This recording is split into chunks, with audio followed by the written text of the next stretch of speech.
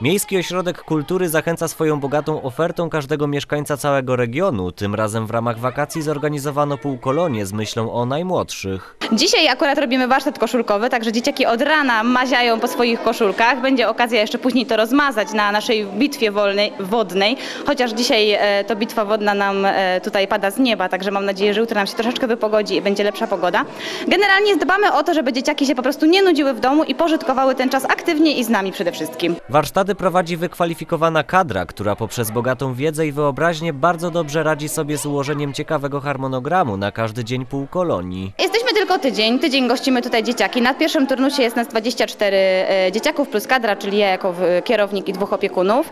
Bardzo się cieszę, że zdarzają się dalej ludzie, tacy jak na przykład pani Ela Madejska, która organizuje fantastyczne półkolonie tutaj e, w Żorach, e, czy wychowawcy, z którymi mam przyjemność pracować. To są ludzie, którzy poświęcają swój czas i swoją energię, ale to jest praca, która jest ciężka, jest wymagająca, owszem, ale to jest też praca, która daje mnóstwo satysfakcji i kiedy te małe przelepcy przychodzą na drugi dzień, przychodzą, uśmiechają się i mówią kocham panią, to jest najcudowniejsze, co może się zdarzyć na naszych półkoloniach. Oprócz warsztatów dzieci mogą liczyć również na różnego rodzaju wycieczki. Byliśmy w Leśnym Parku Niespodzianek, idziemy dzisiaj do kina. Jutro mam nadzieję, że pogoda nam dopisze i zrobimy mega super ekstra kolorową bitwę na proszek holi, które dzieciaki zresztą też będą robić sami.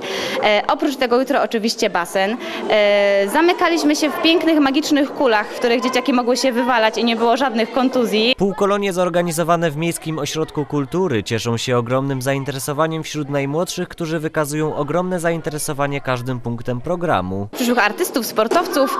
E, rozwijamy talenty tak jak tylko się da. Każdy z nas ma talent. Wczoraj właśnie, o, wczoraj był e, pokaz talentów i mimo tego, że gdzieś tam na początku dzieciaki nie do końca wiedziały, jakie mają talenty, to po kilku e, występach okazało się, że talentów jest aż tyle, że trzeba zrobić jeszcze ciąg dalszy. Każdy z opiekunów dokłada wszelkich starań, by stworzyć uczestnikom letnich propozycji zabaw jak najlepsze warunki do wypoczynku. Umożliwiają dzieciom aktywne uczestnictwo w zaplanowanych zajęciach i życiu grupy oraz organizują czas wolny w sposób przyjemny i pożyteczny.